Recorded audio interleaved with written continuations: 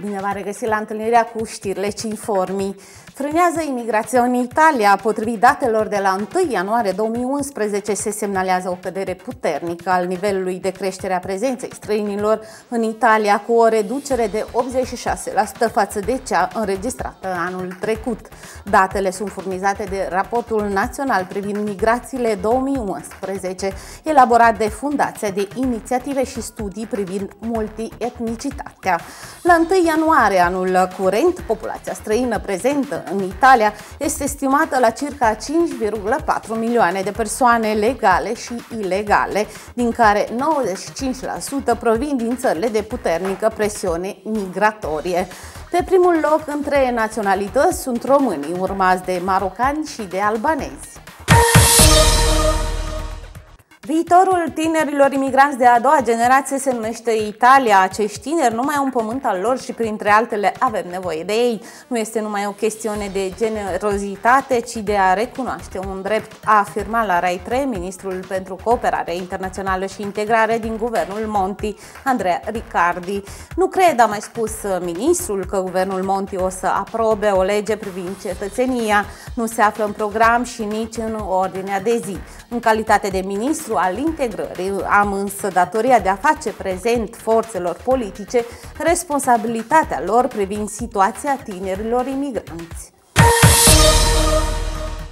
În întunericul crizei, instituțiile trentine sunt alături de întreaga comunitate, din care fac parte și noi. Trentine a afirmat președintele provinciei autonome Trento, Lorenzo de Lai, în relația privind manovra economică 2012-2014.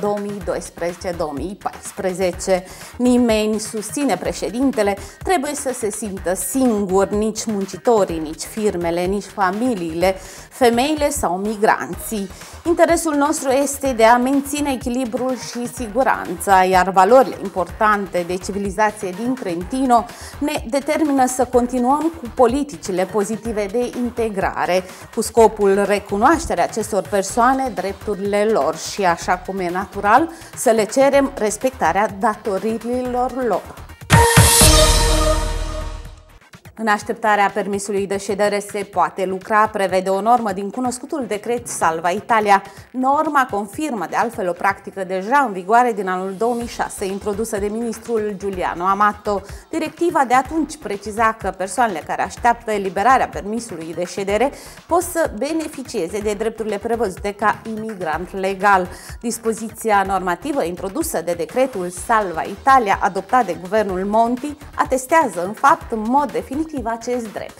Scopul este facilitarea muncii muncitorului străin în perioada de eliberare sau reînnoire al permisului de ședere. Și cu această ultimă știre vă mulțumim pentru atenție și vă dorim zile senine și pline de speranță. Pe curând!